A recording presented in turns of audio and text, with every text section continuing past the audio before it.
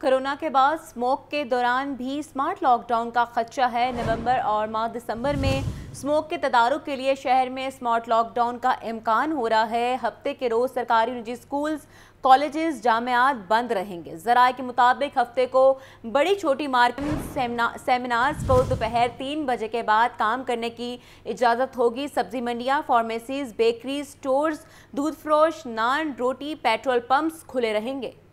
तफसीत के लिए बात करते हैं चीफ रिपोर्टर इमरान अकबर से। इमरान, बताइए इस बारे।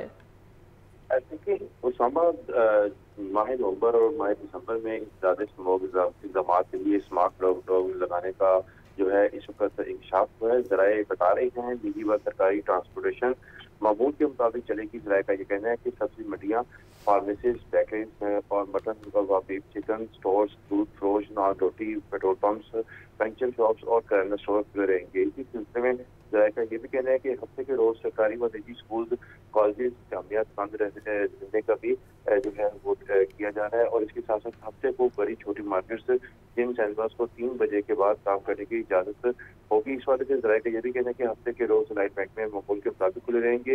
हफ़्ते के रोज निजी दफातर भी तीन बजे के बाद खुल सकेंगे। महदूद नकल हरकत के अखलाक पंजाब के दस अजला पर होगा। जराए का कहना है कि ननकाना साहब, शेरपुर और कसूर महदूद नकल हरकत होगी।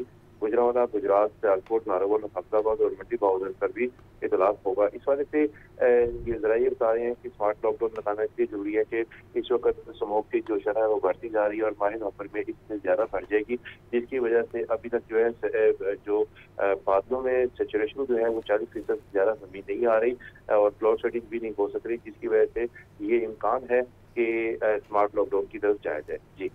इमरान, ये बताइए, जैसा कि आप कह रहे हैं कि स्मार्ट लॉकडाउन की तरफ़ जाया जाएगा, अक्सर देखा गया है कि स्टेक होल्डर्स की जानब से कभी जब ऐसा फैसला किया जाता है तो शदीद रिजर्वेशन ज़ाहिर की जाती हैं। क्या ताजर बरदरी से इस हवाले से मुशावरत हो चुकी है?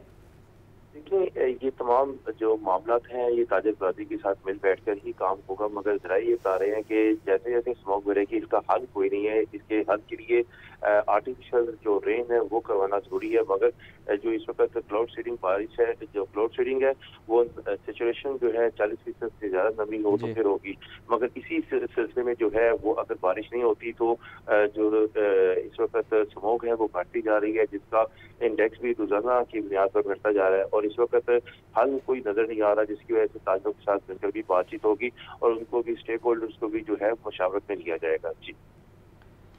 इमरान हमारे साथ ही रहेगा। स्मोक की शिदत खौफनाक सूरत हाल इख्तियार कर गई है। सूबाई दारकूमत लाहौर ने भारतीय दारकूमत नई दिल्ली को भी पीछे छोड़ दिया।